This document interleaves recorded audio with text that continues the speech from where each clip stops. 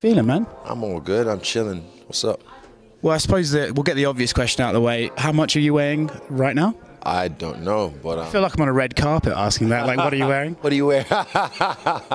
nah, um, I'm not actually sure what I'm wearing, but I know it's definitely not 205. Do you think people are underestimating what you're trying to do here? Because essentially, last time out, everyone thought you might have your real contender, and then you made it look easy. Yeah. They're kind of underestimating Jan Blachowicz now. Yeah, um, I think they're, they're doing so um, this time mistakenly. You know, you shouldn't underestimate Jan because you look at a a guy like him and his his resume. Um, he was on a losing streak.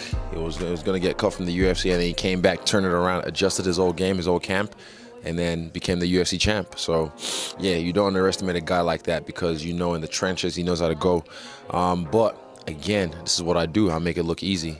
So I plan on doing that again come Saturday is this one of those cases a little bit like the Costa fight where it's essentially you do you and as long as he doesn't land that one punch you're probably going to be okay. I'm not getting touched this fight. That's my plan. Not getting touched like I did in the Costa fight. Like I I didn't get touched in the Costa fight but like I did in the Costa fight because I didn't let him touch me in the face at all. So yeah make sure don't get hit and watch out for that body kick.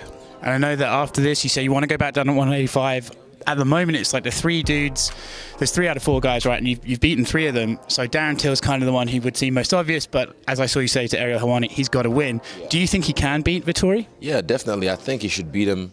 Is actually even a guy that fucking hell i might give him a compliment. He did well in his last fight. Oh what the fuck? Okay. Have you been drinking? A little bit a little bit of wine a little bit of wine do that to you. But um, I understand. I, I, what? Let me. Did he do well?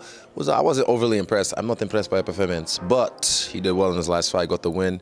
He got bloodied up. He got bruised up, but just determination, I guess, and, and gusto, gusto. Look forward to seeing you work on Saturday.